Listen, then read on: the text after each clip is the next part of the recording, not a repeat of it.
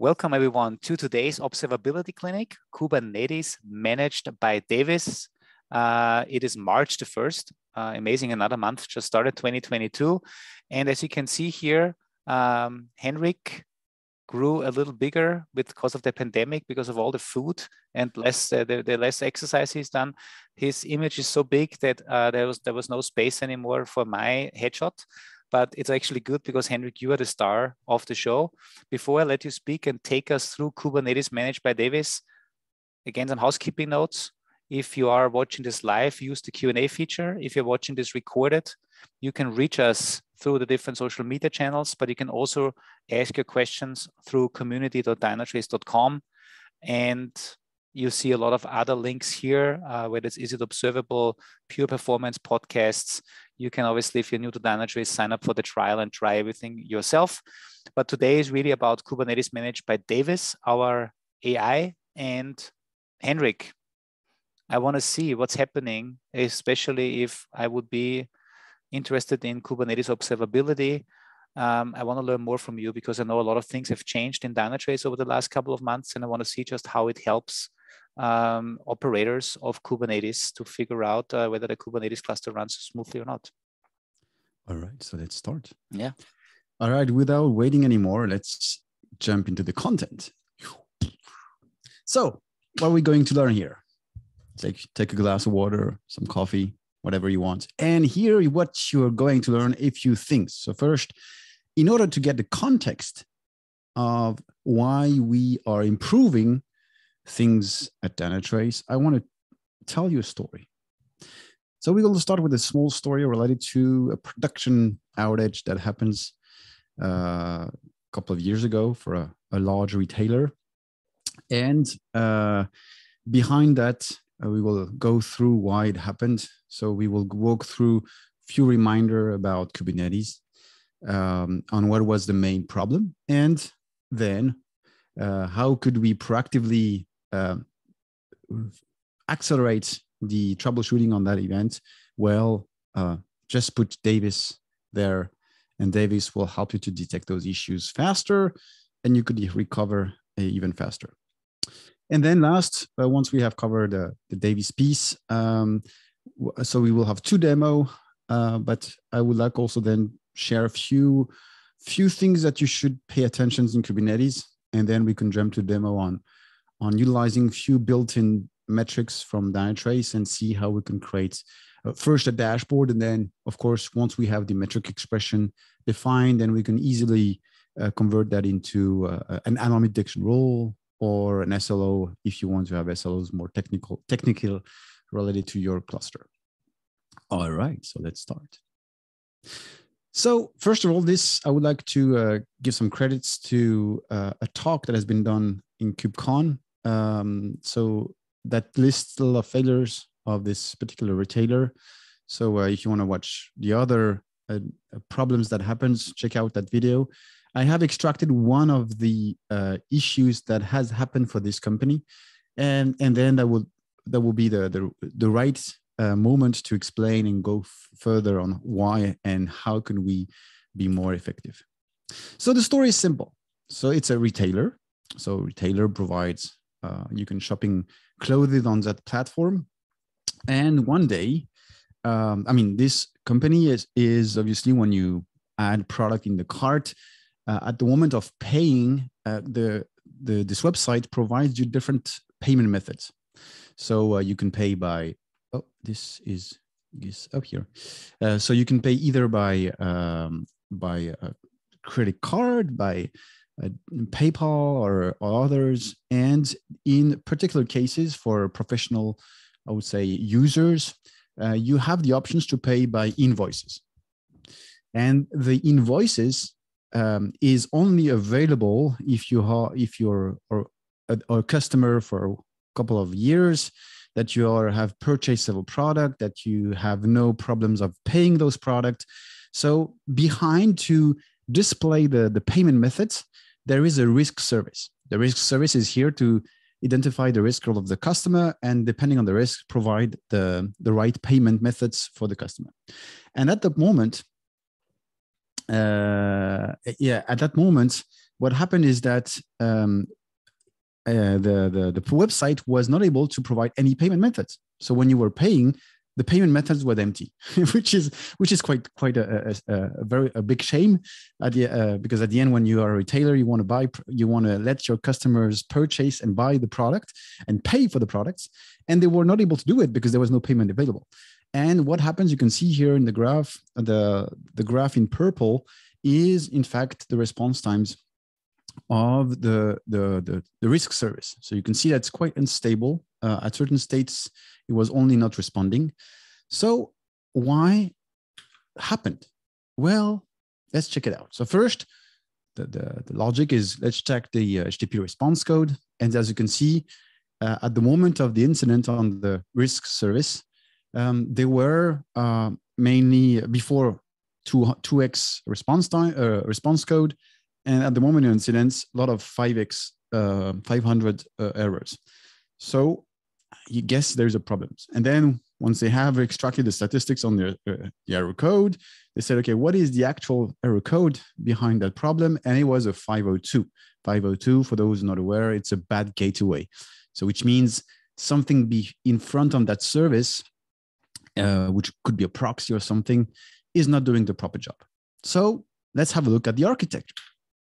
Well, the architecture is simple. It's based on Kubernetes. Ha! No surprise for us today. But uh, in the cluster, there were several microservices. In fact, it's a multi-cluster architecture in this case. But um, let's pay attention to our risk service because this is the one that we're not working at the moment of the incident. So the in front of the risk service, as you can see, there's an ingress controller. So an ingress controller, to remind you, it's a way of exposing your services out of your cluster, but also defining some route uh, policies that will help you to route the traffic to the right service. And, but the ingress were not dedicated to that specific service, which makes sense. Uh, you can create several ingress rules where you can have a few, part of the traffic going to the risk services and others to other services of the application. At the moment of the incident, what really happened is that the risk services were not responding, and because the ingress controller were dying. It will killed.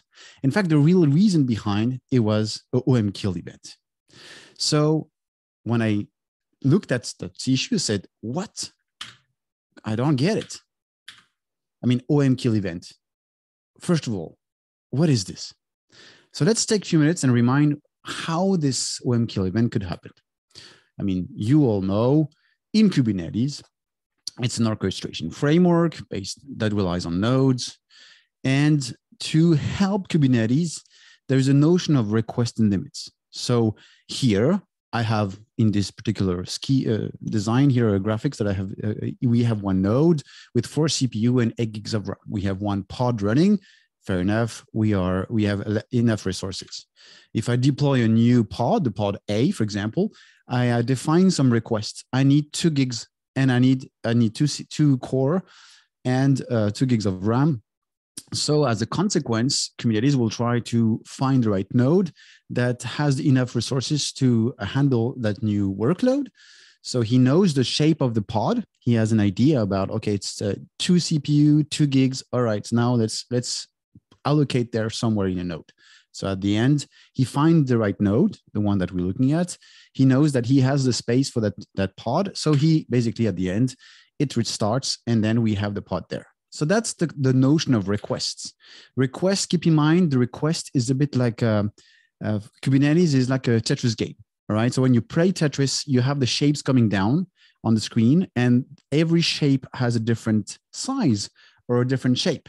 And then you have to uh, move the shape around and create lines to win points.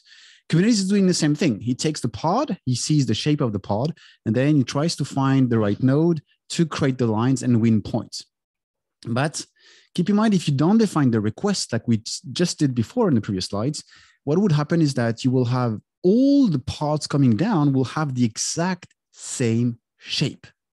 So then Kubernetes thinks that it's a small square, so it moves it, put, place it some at one spot, but then suddenly the the, the one simple square turns out to be a big big shape because we discovered that it needs more resources. So then Kubernetes tried to be smart but he was not able to be smart because you didn't define the resources. We can even compare it, Kubernetes, to a box of chocolates. Remember when you were when you were a kid, uh, you open your box of chocolate, you pick one of the chocolate and say, mm, "This one is, seems very tasty." You open the, the, the paper, you eat it, and then boom, there is liquor. Say, uh, oh man, now it's different. But when you were a kid, it's different. Uh, you mix this, uh, and then you just say, "I don't like that." So it's the same thing. So Kubernetes takes your pod, he doesn't know, he eats it, and he discovered that in that pod there is some liquors. Oh, you're not very fair with Kubernetes. So let's be gentle and put the requests.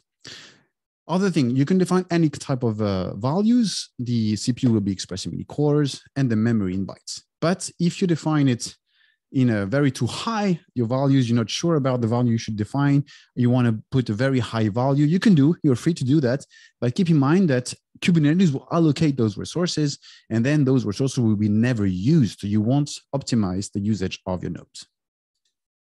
On the other hand, once you have the requests, so basically you have ask Kubernetes, say, I need a three room apartment and then Kubernetes says, okay, so now you get a three room apartment, but you, you got a contract with me now. And the contract is that you're not able to consume that amount of power uh, during the day. So you basically you have some quotas in terms of number of uh, the quantity of power that you can use on that apartment. So it's the same thing in Kubernetes with the resources. So you will define the limits, how much bytes you can consume in maximum, and how much CPU you can consume as well the how it's expressed very easy in uh, the case of memory it's in bytes so here if we do a load test or something you can figure out how much memory you need in maximum if you do in the cpu it's different it's it's an heritage of the container world where it's it's share resources through cgroups and cfs and basically it's ex- expressed in that uh, particular parameter in time how much time do i have to run my program within uh, a, a, CPU period. A CPU period is 100 milliseconds, by the way. Um, but at the end, what happened if you define not the right timing, you start to do some your your run your task, and then you have exceed the time that you were you had allowed in the cluster. So Kubernetes will say, okay, I'm going to pause you. It's not Kubernetes, but it's, it's Docker.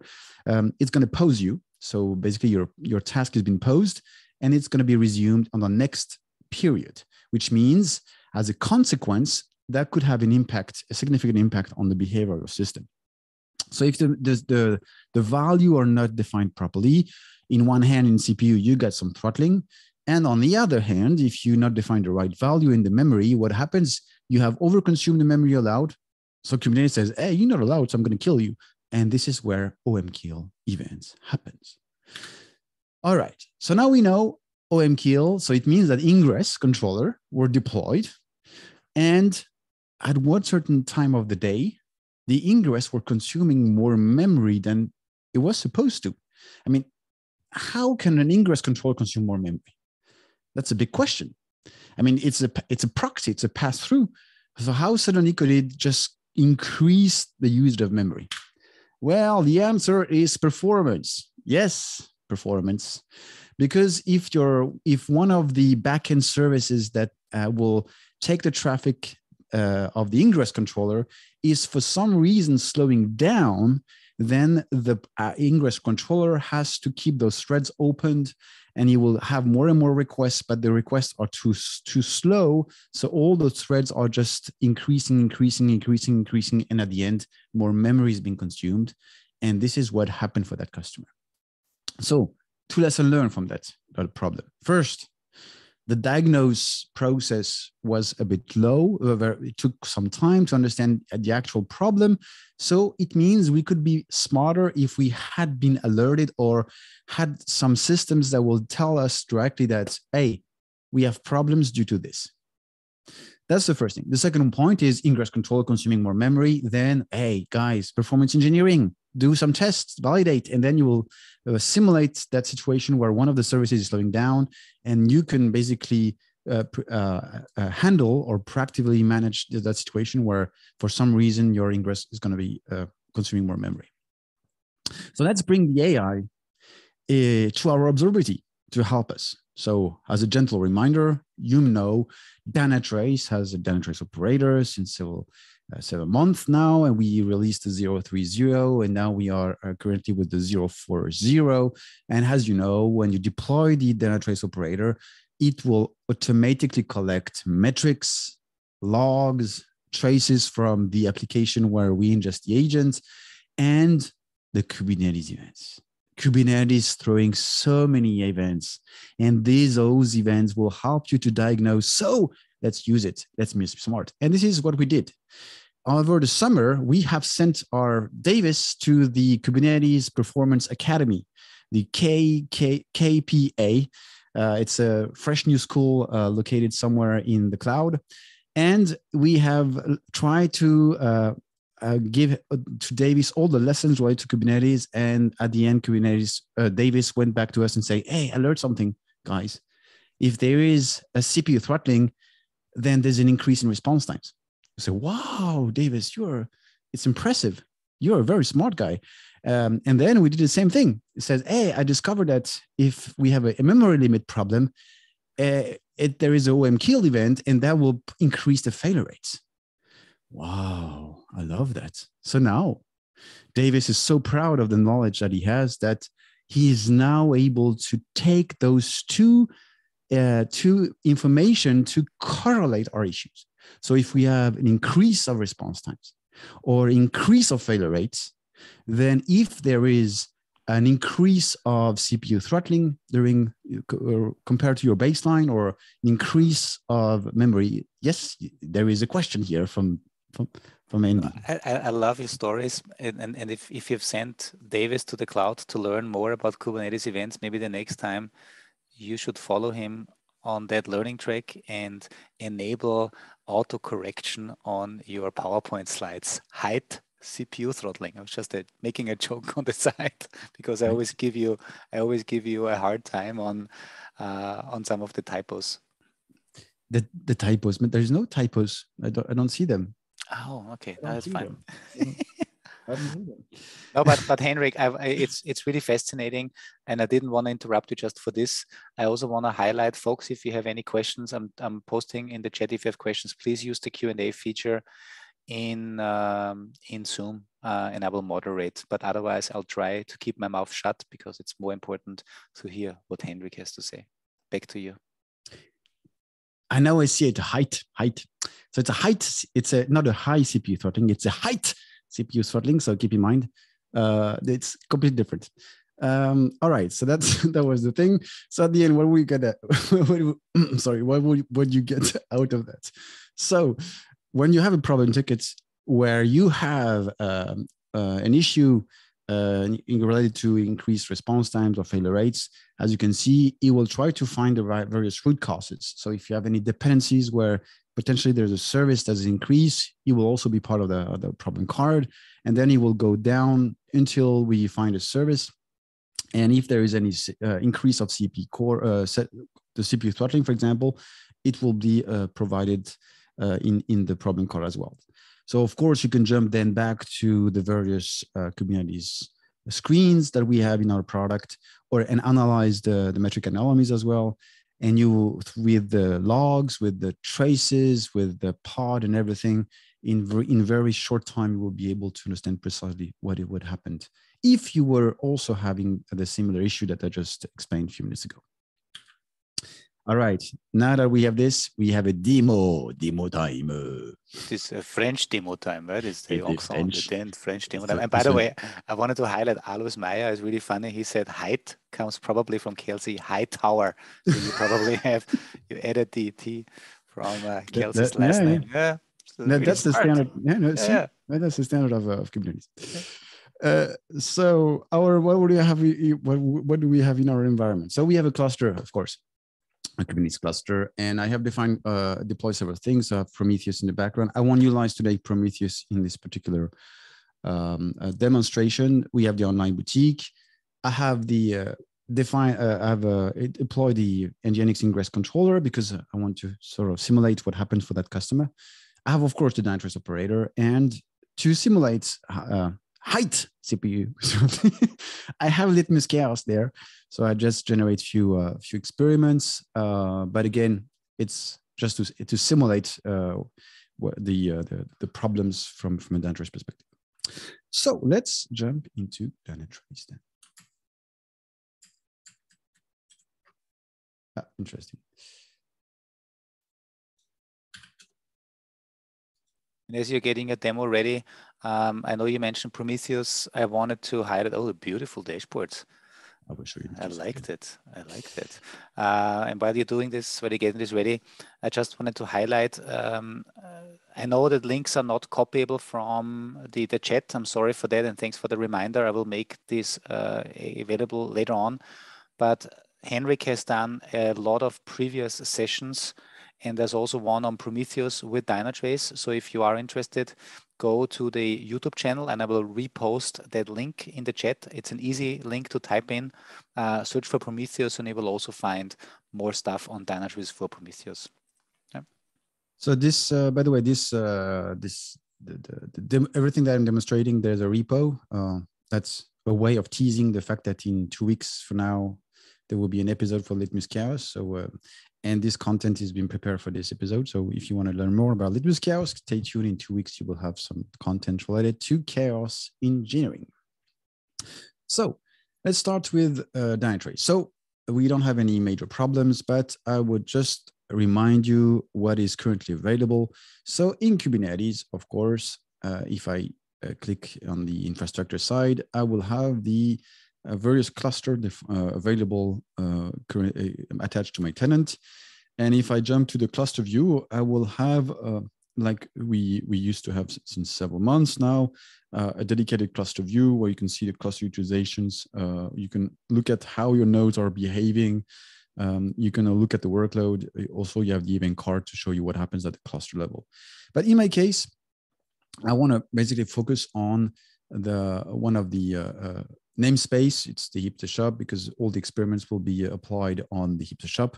So I can jump in the Hipster shop. From there, uh, if you have defined any uh, quotas, because I, I, just remind you that in the namespace, uh, uh for those who are not aware, you can define quotas in terms of resources and uh, number of pods that you, uh, maximum number of pods already in that namespace. Those quota will be reminded and you can keep track on this. So uh, the namespace screen is there also to, to, to also validate that the settings that you've defined make sense with your uh, environment. Of course, we have an event card. All the events related to that namespace will be there as well. So uh, in my particular case, what I was trying to fish here is to, uh, to stress these specific services. So in the case of the Hipster shop, there is 11 uh, or uh, never mind 11 services but uh, one of them is the product catalog which is a dependency of uh, the the front end uh, services and others. So which means if i slow down or if i do impactful stuff on the product catalog i may have consequences on other services. So this is what i try to do uh, over the couple of days to be honest. Um, and here we can see the, the workload screen related to the product catalog screen, showing you, of course, uh, the, uh, the, the, there is various uh, drop down list to select which KPI you want to look at. So CPU uh, usage and requests and limits. And in my case, I'm, I'm really interested in the memory and, and the throttling because it's is this the, the story of today. So if I click on CPU throttling, of course, the graph will be updated. I will be able to see it.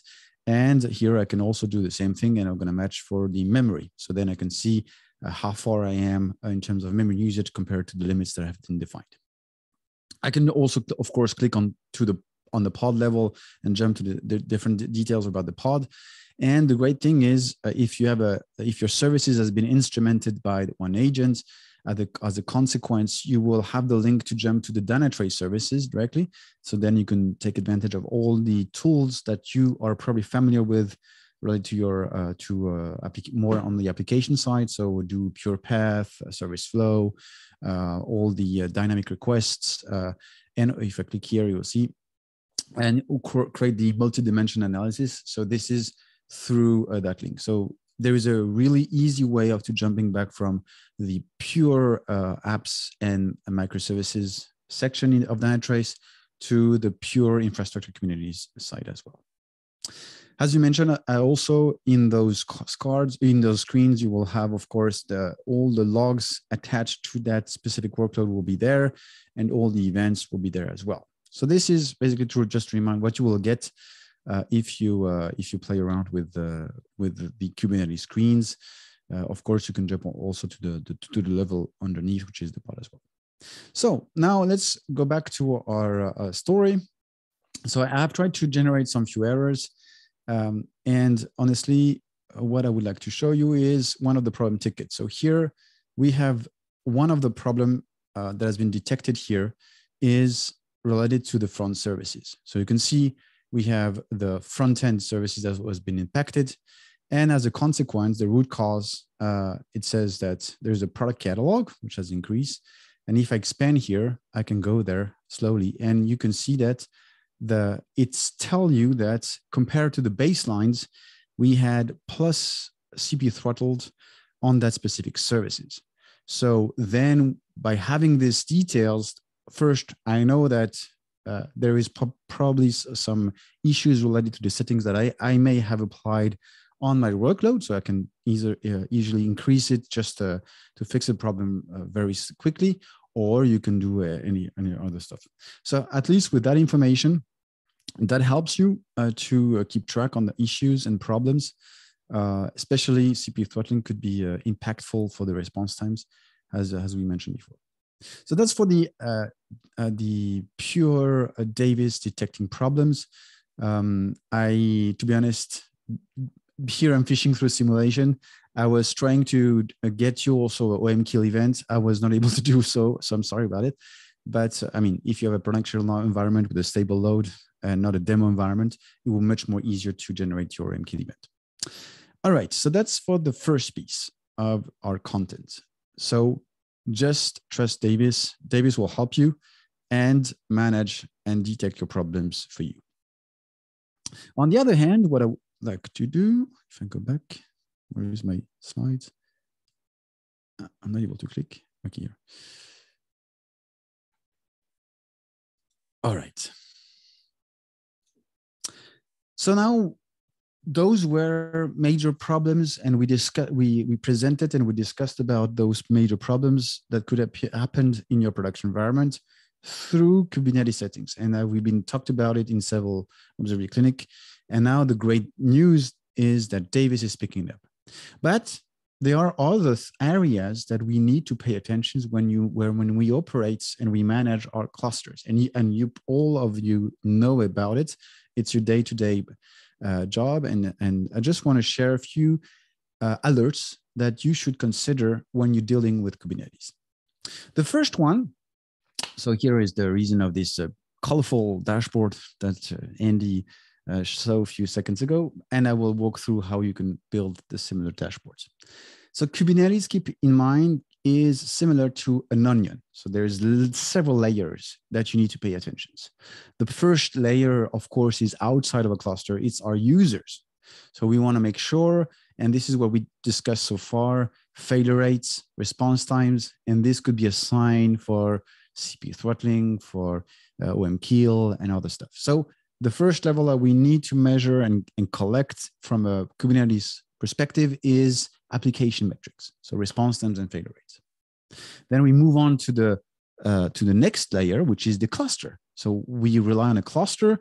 That cluster, um, uh, to let you know, there is the master nodes and the worker nodes. So if you are in a non-managed cluster, you have the worker node in your hands, so you could get more, even more details and get more alerts related how your Kubernetes cluster is working properly or is healthy, I would say.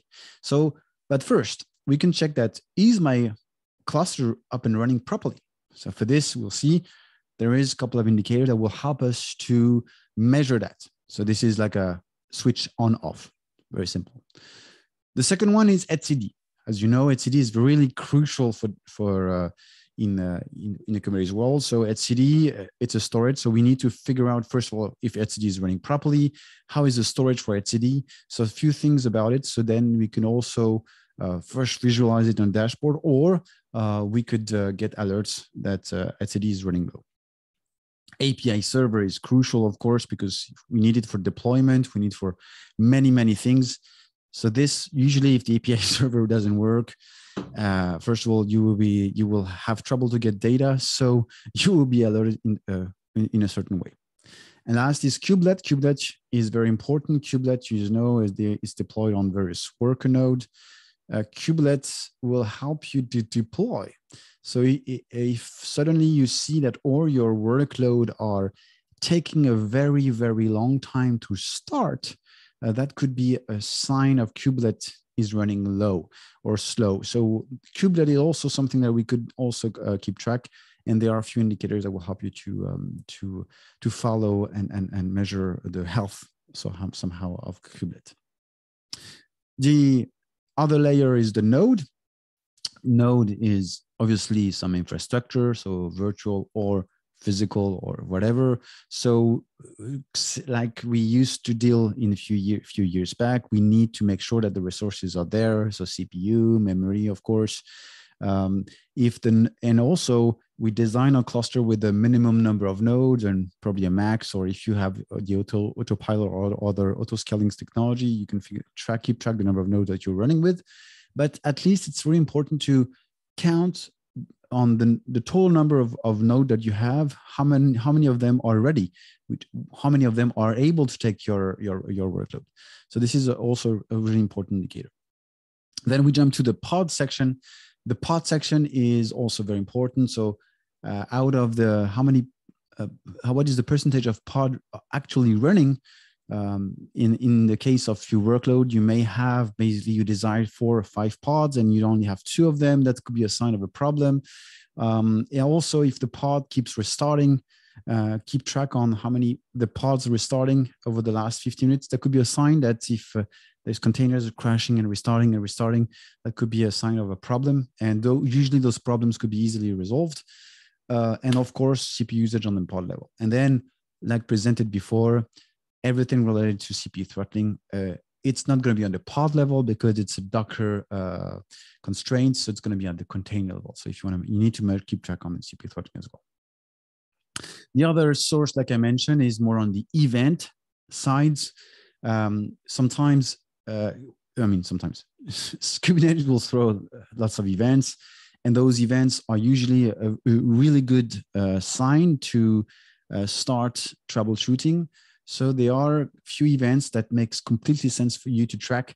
Uh, on, of course, here we won't have events based on our users. Uh, I mean, they could open tickets on your end, uh, support tickets, but you won't, you won't you can keep track on that. But here, more on the Kubernetes side, I would say on the node, there are events that are very uh, important. So first, node pressure, it's a sign of a problem.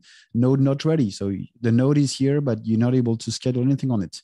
And then keep in mind that when you deploy uh, you could do services with node port or cluster IP. Those will allocate no ports or uh, allocate IP address. As any systems, there is a limitation. So you need to check that there is no host port conflict, the, that you have enough port on the machine, yeah, any IP address and so on. disk pressure, of course. Um, and then on, on more on the pod level, we mentioned OOM kill, of course. Crash loop backoff is related to the fact that it's restoring very often um, and fail scheduling. Fail scheduling is is it's a it's a sign that something goes wrong on your on your nodes because if you're not able to schedule any of your workload, it means that one of the nodes for some reason is not running properly. Um, of course, eviction we mentioned that on a previous observability clinic, and of course unhealthy. So unhealthy could be a sign. You know there is a, a healthy probe in Kubernetes. So if you have uh, services that reports uh, to be unhealthy, uh, that could be a sign that something is not working very fine on, on your, your cluster. All right, so enough of talking. I have been talking enough a lot about uh, those events. Uh, so we're gonna create them uh, directly in in, the, in Dynatrace. I mean, not everything; it would take a lot of time, but at least we will try to keep create a few of them. Um, Henrik, before you continue, I just want to highlight first of all, thank you for everyone participating in the chat. Uh, also, thanks to Alois Mayr, who is one of our product managers, who is also active. Uh, I know he tried to answer one of the questions regarding Argo rollouts, but I think um, with the Q&A feature, I'm only allowed to to do the proper uh, answering, but Israel, hopefully I got your name correct, Israel Chavez Herrera, um, have a look at the Argo rollout um, uh, answer from, from Alois. He was basically saying, yes, we are aware of that. We plan to also integrate other Kubernetes objects that directly or indirectly create pods. Argo rollouts is one of those. Um, and we don't have a current official ETA for rollouts, but it might come later in the summer. So this is from Alois Mayr. Thank you so much. And also uh, Mathieu, uh, Mathieu, sorry, hopefully I just have this correctly, Mathieu. Uh, he's asking about uh, crash loops, job failures, persistent volume failures, pod pending delays, deployment glitches. Are all of these topics revealed by Davis? And I think Henrik, this is exactly what you are currently uh, going through. Kind yeah. of what are we doing with these events? So first of all, I will I will uh, uh, let you know that we at the moment we Davis is not picking up all the events that has been listed here. It's picking up mainly we we started uh, with the, the one that has more impact on the application. So like I mentioned, uh, everything that could impact on failure rates and and and uh, increase of response time. So this is the OOMKill and CP throttling that I presented. The other event at the moment we are working on it. So stay tuned. Uh, Davis will be even would be a first class citizen in in the in uh, Kubernetes environment. Uh, and it's at the moment it's, it's learning and will be better and better and most of the things that we presented and we will create through uh, dashboarding or alerting would soon uh, be uh, managed directly by Davis. Mm-hmm. Thank you. All right. So uh, just to remind you, we already explained it on uh, other uh, observability clinics, but to remind you, if you want to uh, take advantage or report anything related to Kubernetes events, um, there is a journey. Uh, and the journey is that you have to go to the log viewer screen, and I will show you in a few seconds. So you start with the log viewer screens, you apply the right filter uh, to select only the event that you're looking for, and then you could create, of course, you can do a log event if you want, uh, but you can create what we call uh, a metric. So you can count the number of occurrence of that event um, and make sure to create to add enough dimensions because that will be very useful uh, to uh, when you want to split and do some some some filter. Uh, so of course the, the pods, the, the namespace, the service, the object kind, and so on. Those are very important. And once you have created that metric, keep in mind that the metric will only exist from the moment there is a new event coming in in Dynatrace. So you create the rule, the rule is there, but the metric will only exist from the moment there is a new event coming in. So uh, don't be surprised if uh, you create the event and suddenly you don't see the, the metric. It's normal. You need a new event coming in to, uh, to have the metric uh, officially created in Dynatrace. All right, another demo time. Uh, here it is. So let's okay. That's uh, let's jump into first of all. Let's start with the events. All right, because we mentioned we just mentioned about them. So I'm to go to the log screens, uh, the log viewer screen. So in this, if you those not familiar, in observe and explore, there's a log sections. If I cl click on the log sections, I will uh, open the log viewer and we'll see all the logs that is currently being ingested by Dynatrace. Uh, and as you can see, we have two type of event, uh, two type of logs, I would say, Kubernetes and logs. So log will be obviously logs and Kubernetes will be events. So if I filter just the Kubernetes events, I will only see uh, uh entries related to Kubernetes. And as you can see, there is a, um, a labels or groups, object kinds, and those attached are uh, related to a few uh, a few, uh, I would say, uh, Kubernetes events. So here, for example, let's say I'm interested in the OOMKill event that is here. Uh, so we have OOMKill, in fact. Ah, there was a few hours ago. Um, so I have to apply the, the right rule that I need. Once I have this, I would be able to create a metric from here by click on this this one. And once I have the the the create the the wizard to create the metric, I will create, create a name. Make sure to the you have to have the the uh, suffix the prefix called log docked. So then you can say Kubernetes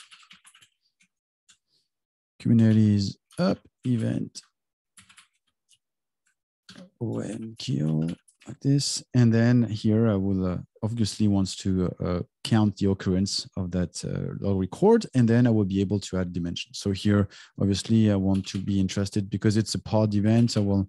Henrik, to... just quick introduction, uh, interruption. If is it possible uh, to increase your screen size a little bit, meaning maybe in your browser, zoom in a little bit? Ah, perfect. Thank you. Just a little bigger helps. Yeah. Uh, so here I'm going to do pod name, for example, as a dimension. Then we can do like a service name. I'm, I'm not the, uh, I'm looking for the, the community service, maybe if there is, I don't have it in that dimension. So maybe I can say namespace here, DT entity cloud application namespace.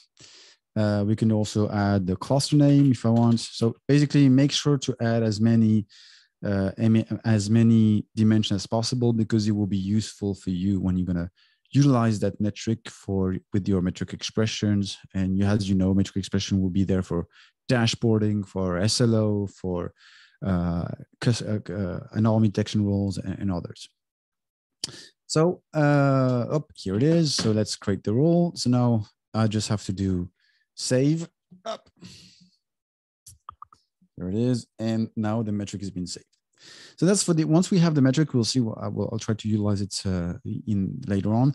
We can then jump to explore data. So I mentioned several alerting that you may have to consider. So I'm going to do everything because we are uh, running low in time. So what I'm going to do is going to search for cluster. So I'm going to pick one metric for the cluster, for example, uh, one for uh, the nodes, and then I'm going to share the dashboard that I prepared today. So if you look at cluster, there is an indicator called ready status. So if I query that one, I can see that it's going to be one or zero. And the great thing is we report also uh, the dimension to the cluster. So if I, in my case, I have two clusters, so easily observable and perform. So I would have, I will have the both lines available in the dashboard. And what I really like in terms of visualizations, uh, especially for, for Kubernetes or for to, to mapping the various objects is the honeycomb. So if I do honeycomb here, I see a one and one, everything is good. So then just for the sake of the visualization, I say if it's one, it's going to be green. And if it's zero, it's going to be a red. So now I have the, the metric just to say, is it up and running? It's very simple. I can add some label as well to figure out which cluster I'm referring to. Um, but again, you have the options. So that's for the cluster. The second thing is we can also, if I search here, Kubernetes, uh, Kubernetes, uh, no, no, sorry, I would say node. If I search for node, I would be able to, to have several, several things. I have the number of CPU available, the number of cores, so I can count the number of cores available uh, here, seeing the cores. Um, and there is another one that I'm looking for is the percentage. Uh, where is it? Uh, used on the cluster, sorry. So cluster CPU available. So I can do this if I want as well, and I can run the query, boom, and I can split by cluster as well. So this is going to be global to the, the cluster itself. If you want to jump to the to the node itself, you can just do a simple calculation, uh, count the number of cores that has been allocated minus the core left, uh, minus the total number of cores. You will have the core left, and then you can divide it by the total number of cores, and that will give you uh, the right ratio uh, that will uh, uh help you to, to, to validate this one. So uh, I'm just looking at the time, so it's only, only running fast. So I'm gonna jump to the dashboard I've prepared and show you a few things that I have in that dashboard. So I'm gonna switch here to half an hour. Does it make sense? And as you can see, I've tried to, to structure the view with first the cluster view at the top, uh, the node view on the second hand, and last uh, the pods, and last I have the application. Exactly like the various layer of the onion that I have presented. Uh, so I started with the, the, the cluster where I'm looking at uh, how many CPU I have available, the memory, so very high level metrics related to cluster. And then here, this is what I do. I count number of cores left in each of the nodes. So I can see that, for example, on the easily observable cluster that I use, I have only uh, I have only six percent of cores left, which is quite low. Um, so you can do that through calculation. So if you want, I can show you briefly the, the, the the expression through uh, the data explorer if you want, but we can do that in Q and A if you need. Uh, we can do the same thing uh, here. I'm I'm using events, so node having system OOM. So here, uh, what I do, I, I count number of events that happens over the last 30 minutes, and I divide with the current value. I, uh, I, I, remove it with the current value, and then I, am able to count the number of OOM events that happens on a node, and I colorize the, the honeycomb tile through, uh, through depending on the values. Same thing here. I just report the, the percentage uh, CPU throttling ratio. This is a great metrics uh, that we have. We have a ratio of CPU throttling uh, above 25%. It usually it's considered to be a problem. So you could also here, like I'm listing, I have three pods that are currently the shipping services, the front end that is currently uh, uh, 20%. So it's it's uh, acceptable, but then we can see that we have several uh, pods like K6. I'm using K6 for my load testing here. The ad services that is above the the uh, acceptable uh, CPU throttling ratio. So you can also define that as well. So same thing here. I'm listing all the pods that I have restarted over the last uh, 10 minutes or 15 minutes. So then you can keep track if there are major problems. Same thing for this one. Pod running. So I, I count the number of pods versus the one that are desired. And if you know, I'm under the number of uh, expected numbers, I will have a, a red honeycomb for me. So it's for me, it's just a way of visually. Again, it's not uh, there is no AI in here. It's just visualizations but uh, with a just a, by the look of the eye, because of with the red color, you can have a sign that it's something problematic. Again, what I've defined in that dashboard, you can easily create it uh, then uh, in uh, through uh, anomaly detection rules because the expression is there and just define the right thresholds for you. All right, now uh, resume slideshow. So I have two things to share before we uh, uh, we close down this observability clinic. First of all, as you know, there is a lot of uh, various systems that you use, Argo rollout or ingress controllers or anything. So it always makes sense to uh, uh, make sure that you push that metrics to Dynatrace because then at the end of the day, uh, you can have metrics, you can have traces, you have logs. It's great to collect them, but the what is what you need is to contextualize that data. So then when it comes to Dynatrace, um, Dynatrace will be able to utilize that data properly to open tickets to help to, to define to detect the root cause to a lot of great things that we can do with uh, the data. So to remind, we have the, of course, the Prometheus ingest metrics. You are aware of that. So the since uh, several, almost six, seven months now, uh, you can put annotations on your pod, and Dynatrace uh, Kubernetes operator will uh, extract, will will scrap the metrics that you have from that pod and send it over to Dynatrace. OpenTelemetry, of course, we have a support. So Dynatrace and OpenTelemetry work better together. Like I said, OpenTelemetry will provide you the three signals of observability, so traces, metrics, and logs. But you need to uh, push with the right context to take advantage of the data. So on OpenTelemetry, you can either uh, uh, have OneAgent picking up the traces that you have generated if they are generating uh, OpenTelemetry HTTP protocol.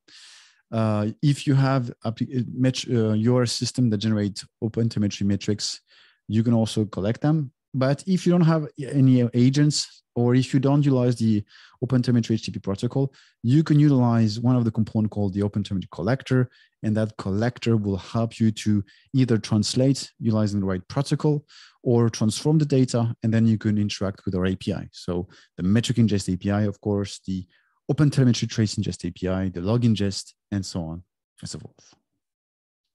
The collector at the end, it's a pipeline uh, so you define which source, where to grab the, the traces, uh, how to process that the, the, the, the traces that you have ingested, and where to export it. So if you want to export it to Dynatrace, you will have to precise the path through your API uh, endpoint. Uh, same thing for the metrics. So you can also do uh, pipelines for traces, pipeline for metrics, and soon once the uh, logs are in GA, we can do also OpenTelemetry collector pipelines for logs. As of now, it's only traces and metrics where you will be able to collect metrics, transform, and then send over to Dynatrace. And last, to remind you, we also have the ability to ingest logs with any log agent in the market. And there is a so log agent uh, uh is there to uh, collect the logs from various sources, transform the logs into JSON streams, add annotations to it, uh, relabel it, and then once the transformation is done, you can send it over to Dynatrace. And for those who's not familiar, there is an awesome Dynatrace FluentD plugin that will help you to ingest your logs uh, in Kubernetes or in bare metal technology. So that's it for today. I think uh, let's keep at least 10 minutes for the Q&A.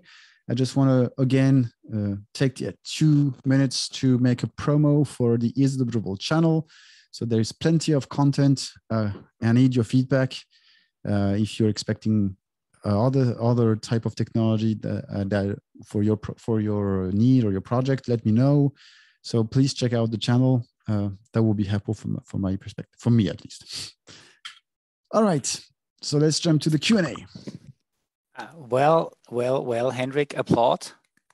It's amazing uh, how much content you covered in the last 50 minutes. Uh, a lot of questions that came in. I also special thanks again to Alois Mayr, who helped me answer a lot of the questions.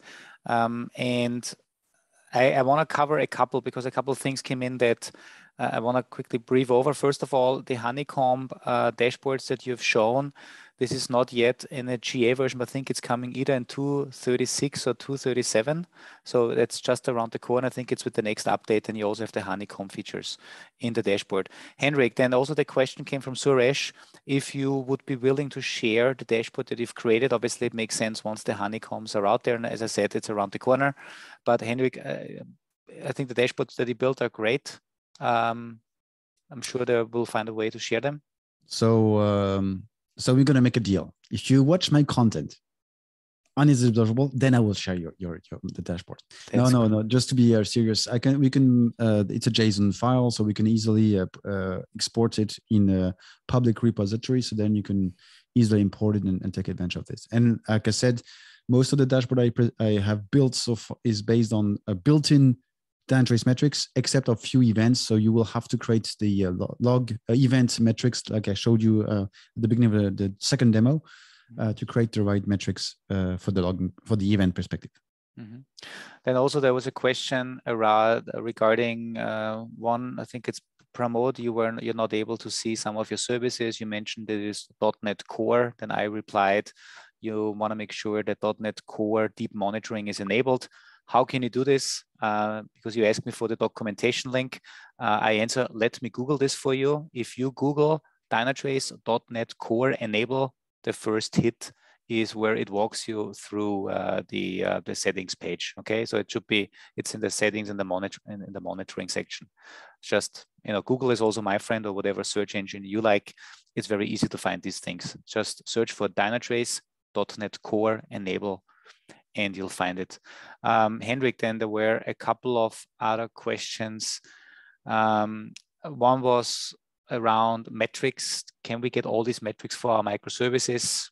Yes, you know, once Dynatrace monitors your pods, your containers, and even does the deep dive monitoring, um, then you get all of the metrics you expect for the microservices, your response times, your failure rates, your throughput, and also from the runtime, your memory, your garbage collection, uh, you you get all of this right? Exactly. and, and, and one thing also i didn't mention because for mm-hmm. from the story that way i told uh, i explained it a few minutes ago in my particular case what i did for those who are not uh, aware uh, Dynatrace is able to also um, uh, monitor or i would say uh, collect uh, metrics related to your ingress controller. So here in my case i have uh, to find them uh, in my list here, controller here.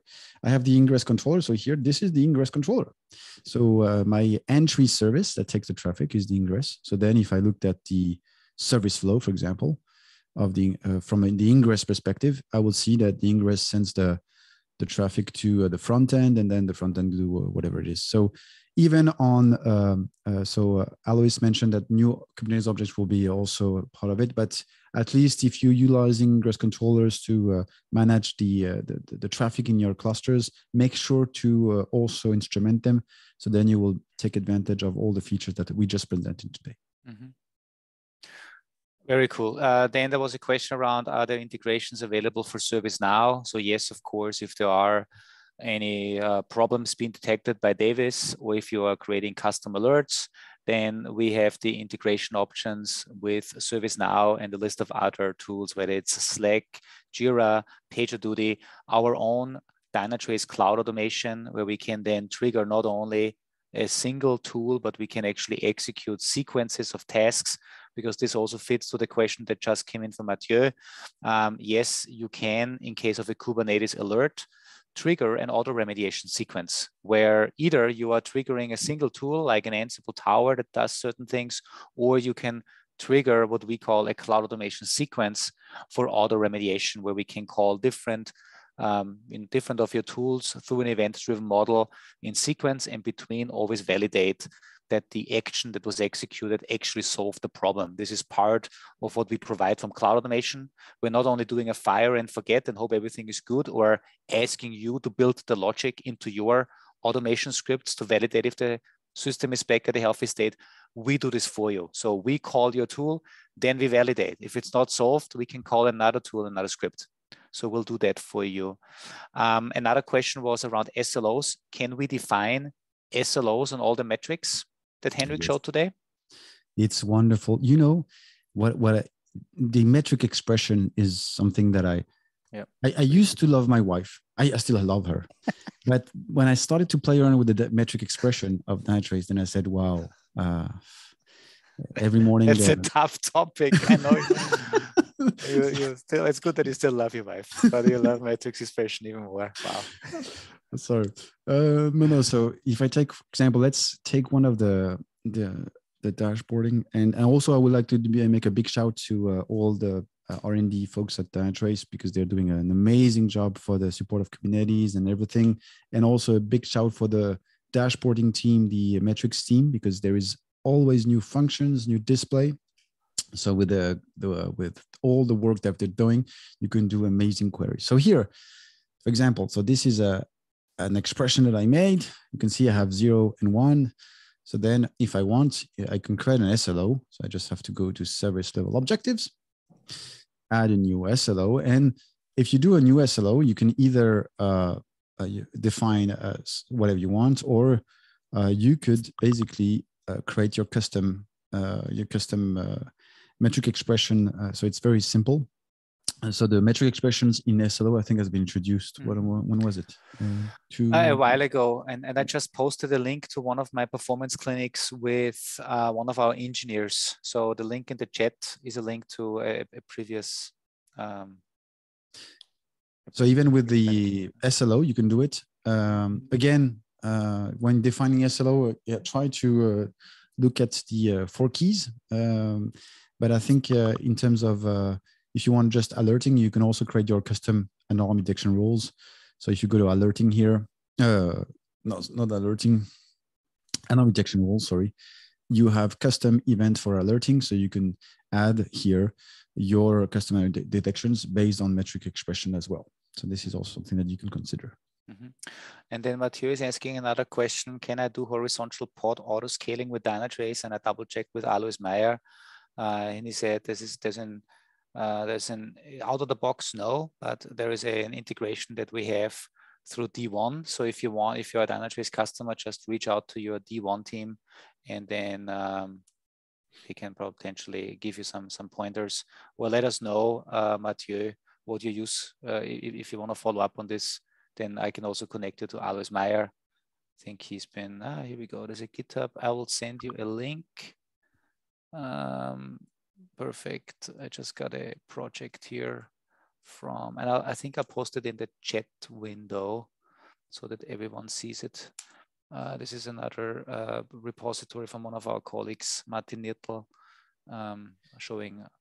And yeah, Martin Nittel, I, I, already looked at the repo and probably there will be an episode on it because it's covered KEDA and other things.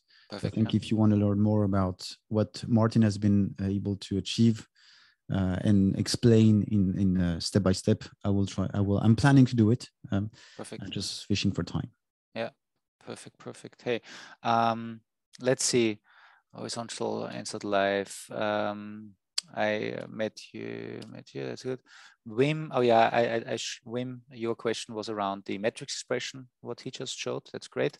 And then we have one more, the, the Davis support for throttling detection on problems. Is it available from which OneAgent and SaaS version?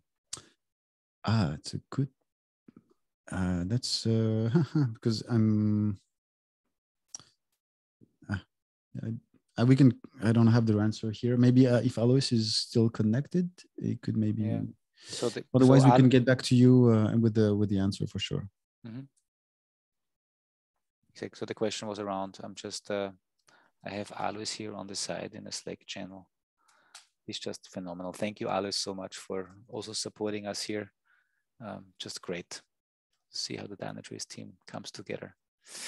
Um, and Israel, right? If we, if you have, a, and, and that goes for anybody out there, if you have any additional questions, because we need to soon close this session, um, always feel free to reach out to us. You have our names, so you'll find us on social media, but most importantly, remember there is uh, community.dynatrace.com. So I'm putting the link in community.dynatrace.com.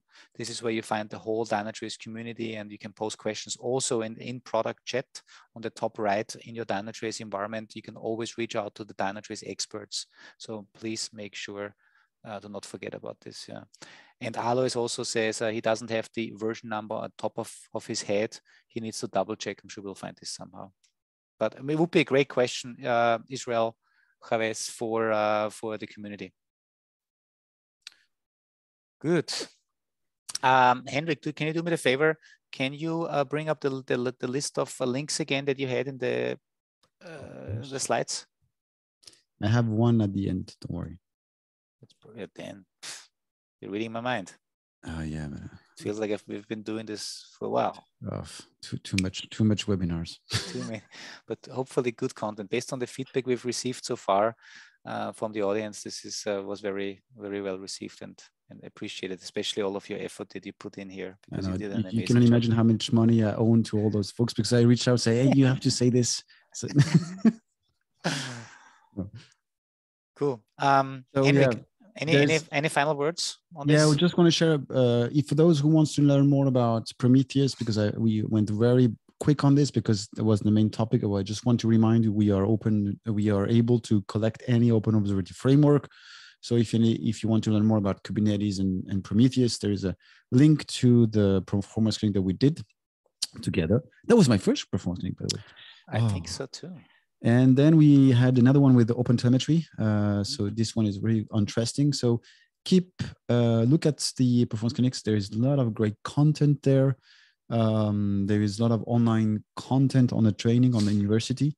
Mm-hmm. And last, uh, uh, there is the of course the pure performance cafe that is uh, still out there and uh, with a lot of great interviews uh, so i will definitely recommend to listen to the podcast and last is it observable observable exactly and i just put some of the links in the chat as well uh, the slides by the way will also be shared on university and the recording is going is going uh, out on YouTube and Dynatrace University, and the slides also on University.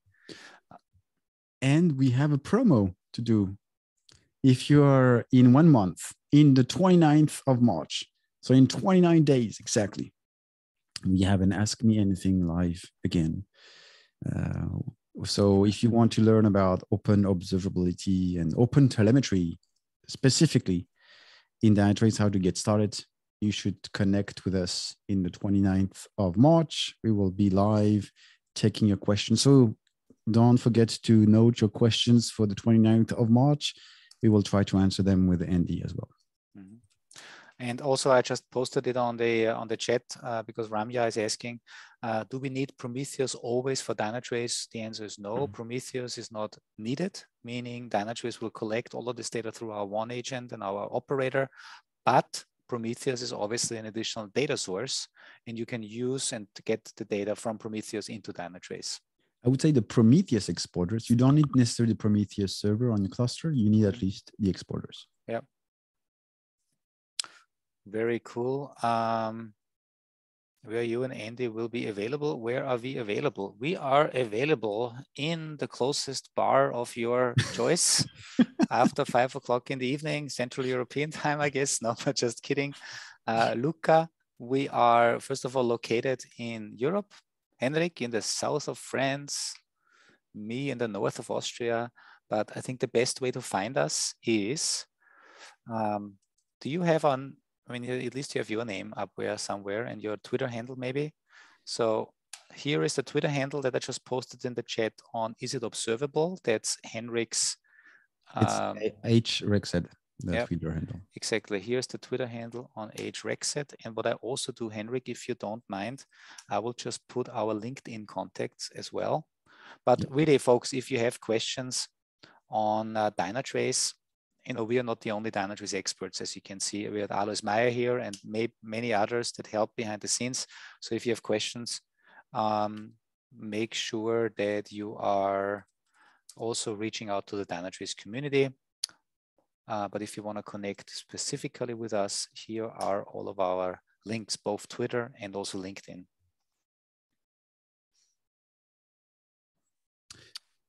Ah, I'm thirsty now. Yeah, me too. and I'm lucky actually. I'm in the Vienna office today, um, in the office in central Vienna here in Austria, and I am going to meet my our friends from Triscon. Oh, um, oh, say hi to them. I, I will, and they actually uh, suggested a place close by um, that actually serve some good cold cervezas. Oh, that sounds like a plan. It sounds like it is a good plan. All right, Henrik, thank you so much. You're welcome. Recording, thanks to John Rocker and Denise. Um, they will put it out there on Dynatrace University on YouTube. So big kudos to many people that also work behind the scenes that you never get to see. So John Rocker um, is just amazing for us. And uh, thanks for all the thank yous. Hopefully we'll see you at our next episode, which 29th of March sounds like a great date for the Ask Me Anything. And there will be other performance clinics or observability clinics like this as well. Enjoy evening. See you. Au revoir.